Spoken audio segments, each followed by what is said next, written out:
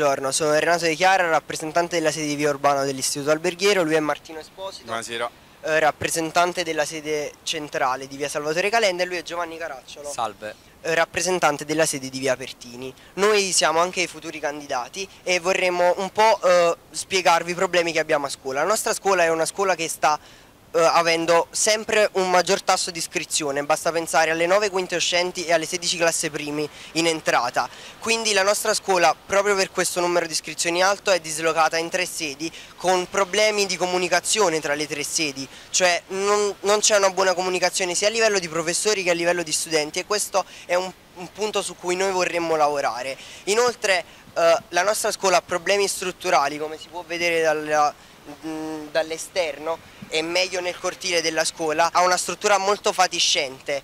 Quindi ciò che noi vorremmo è appunto una scuola un- con una sede unica o dislocata in due sedi e non in tre sedi, anche perché l'anno prossimo dovremo andare via dalla sede di Via Urbano e non sappiamo ancora, cioè noi ragazzi non sappiamo l'anno prossimo in che sede, dobbia- che sede dobb- dobbiamo occupare. Ovviamente i nostri ragazzi il maggior pro- il problema principale che hanno è un problema di trasporti. Infatti con questo disservizio della sita e un problema di viabilità della CSTP molti ragazzi stanno avendo difficoltà a raggiungere la scuola sia eh, come orario di entrata che come orario di uscita perché escono in un orario in cui non trovano i pullman per tornare a casa subito e alcuni ragazzi sono stati costretti ad aspettare fino alle 3 un pullman alla fermata o addirittura hanno dovuto chiamare i propri genitori, una cosa inaccettabile per noi perché comunque i trasporti è una cosa importante.